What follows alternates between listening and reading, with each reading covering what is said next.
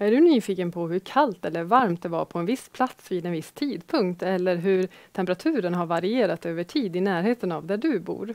Ja, det kan du nu lätt hitta med vår nya webbtjänst Hur var vädret? Du hittar tjänsten på vår startsida www.smhi.se och sen klickar du på klimat här i ovanmenyn och sen vidare på klimatet då och nu och sen på hur var vädret? Du väljer sedan den mätplats som du är intresserad av, antingen här i kartan eller i rullisten. Och jag är ju intresserad utav Norrköping.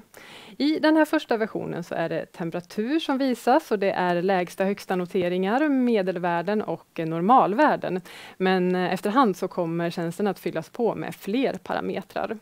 Och i startläget så får man upp ett antal kort som man kan klicka på för att få mer detaljerad information i form av diagram och tabeller.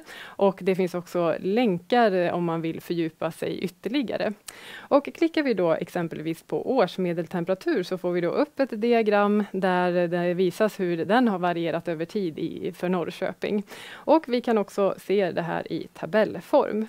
Och under diagrammet så finns då också här länkar om man vill läsa mer. Och vi kan också härifrån eh, titta på normalperioder. Det är en 30-årsperiod, då, antingen vår referensnormalperiod 1961 till 1990 eller vår senaste normalperiod 1991 till 2020. Och längre ner så finns ännu mer. Här kan man titta på specifika dagar som julafton eller midsommarafton eller händelser som tropiska nätter eller värmeböljor bland annat. Och eh, man kan också välja specifika datum. Så kommer du ihåg hur kallt det var i början på december?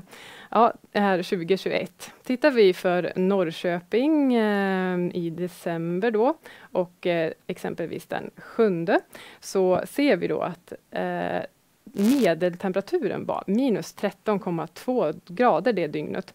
Högsta noteringen eh, är då minus 9,6 grader och lägsta noteringen är minus 17,4 grader.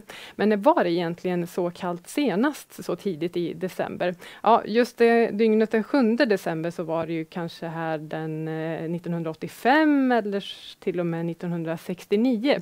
Men nu är ju inte vädret så specifikt så att man kanske ska jämföra just eh, dygn för dygn. Men om man tänker i början på december mellan den första och den femtonde så kan man ju då titta tillbaka här dygn för dygn och väljer vi exempelvis den 13 december så ser vi att vi hade ett liknande läge här också 2012. Men hur var det då på julafton eller kanske midsommarafton år eh, säg 2000? Var det så kallt eller varmt som man trodde? Mycket nöje med vår nya tjänst.